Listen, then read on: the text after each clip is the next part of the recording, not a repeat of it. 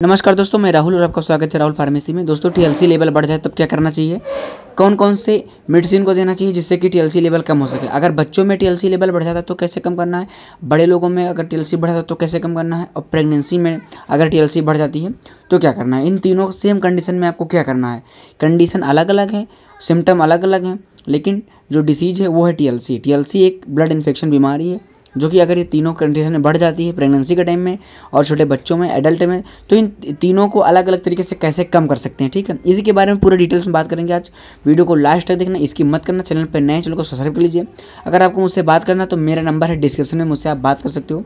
देखिए, सबसे पहले बात करेंगे बच्चों के बारे में। अगर बच्चों की टीएलसी बढ़ी हुई है तो उनके लक्षण क्या दिखते हैं? देखिए, मान लीजिए कि एग्ज़ाम्पल फॉर कह लीजिए कि बच्चा तीन साल का है, तीन साल, चार साल, पाँच साल से कम और तीन साल से ऊपर, यानी कि तीन चार साल का बच्चा अगर है, पाँच साल अगर उसको सीने में दर्द है, खांसी जकड़न है, निमोनिया है और उसको नाक बंद हो रहा है और उसको बुखार कम नहीं हो रहा है, फीवर कम नहीं हो रहा है, ठीक है? तो उस कंडीशन में आप क्या करोगे? तो उसके लिए कंडीशन में आप अपने डॉक्टर को दिखाना, जो बच्चों को डॉक्टर होते हैं पीडियाटिक डॉक्टर जो होते हैं स्पेशलिस्ट पीडियाटिक पीडियाटिक बच्चों के डॉक्टर जो होते हैं, उनको आपको दिखाना है, ठीक है? वो मेडिसिन चलाएँगे, लेकिन कभी कभी होता है कि टीएलसी बड़ी होती तो उसके लिए एक बोर्ड टेस्ट करवाते हैं, जिसका नाम होता है blood test C B C test होता है, ठीक है? इस ब्लड टेस्ट को करवाने के बाद में ये कन्फर्मेशन कर पाते हैं कि बच्चे की टीएलसी बढ़ी है टीएलसी घटी हुई है। क्या कारण है जिससे कि बच्चे को खांसी, तेज बुखार, ये कम नहीं हो रहा, ठीक है? अगर टीएलसी बड़ी निकलती है तो उसमें कौन कौन से सिरप यूज़ करते हैं, मैं बता देता हूँ, जो कि सभी डॉक्टर यूज़ करते हैं फ़िलहाल के लिए।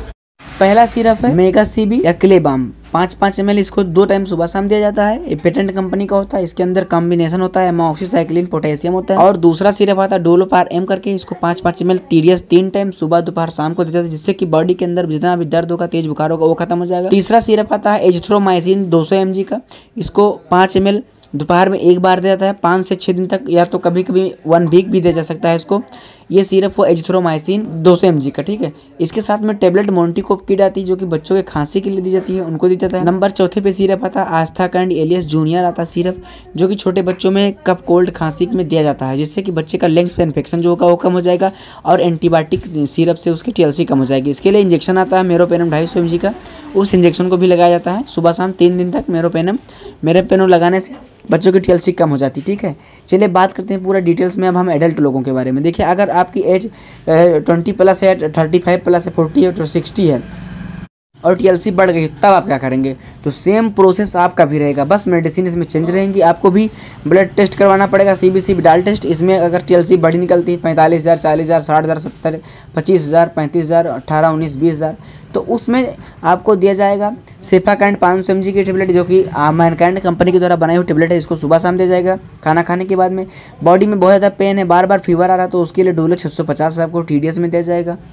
और एंटा एसिड गैस के लिए आपको दिया जाएगा पेंटॉप डी या Pantop D S R capsule आता है जो कि आपको सुबह शाम खाना खाने से पहले डॉक्टर इसको रिकमेंड करते हैं। तो आपको ये दिया जाएगा ठीक है? और दूसरी टेबलेट आती है एजिथ्रोमाइसिन एज, एजिथराल पाँच समझी करके। इस टेबलेट को आपको दोपहर में एक बार देना है वन वीक तक यानी कि एक सप्ताह तक एक हफ़्ता तक आपको इस टेबलेट को खाना है। और जो है एक इंजेक्शन आता है मेरोपेनम इंजेक्शन एक ग्राम का आता है। इसकी एमआरपी जो होती है, वो मैक्सिमम आठ सौ नौ सौ रुपये के आसपास होती है। इस इंजेक्शन को छः इंजेक्शन लगवाना है सुबह शाम में। हंड्रेड एम एल में डाल करके लगवाना है, सिलो सिलो करके। और इसके साथ में आपको एक इंजेक्शन आता है पेंटॉप आई इस पेंटॉप आई को इंजेक्शन को आपको भी लगवाना ठीक है?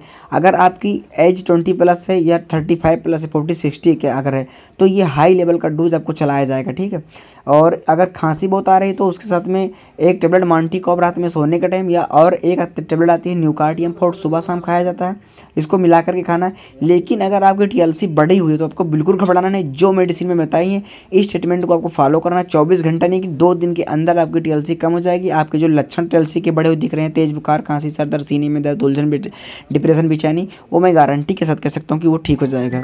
अब हम बात करते हैं प्रेगनेंसी में। तो देखिए, अगर प्रेगनेंसी स्टार्टेड स्टेप में अगर है मान लीजिए चलिए कि प्रेगनेंसी दो महीने की, तीन महीने की है और टीएलसी बढ़ गई तो क्या करना है? तो उसके लिए आपको नॉर्मल एंटीबायोटिक चला देना है। नॉर्मल एंटीबायोटिक कोई भी हो सिफेक्जिम और फ्लाक्सासिन आती है, उसको चला सकते हैं। या लिंजोलेट दो सेम जी की आती है, उसको चला सकते हैं। इसमें इंजेक्शन बिल्कुल नहीं लगाना है पेशेंट को।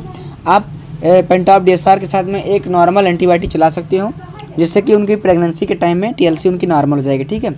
और बिल्कुल घबराना नहीं है। और अगर टीएलसी प्रेगनेंसी का पेशेंट अगर टीएलसी वाला मिलता है तो आप उसको गायनोलॉजिस्ट को रेफ़र कर दें। आप उनको दिखवा दीजिए तो आपके लिए बहुत बेस्ट होगा।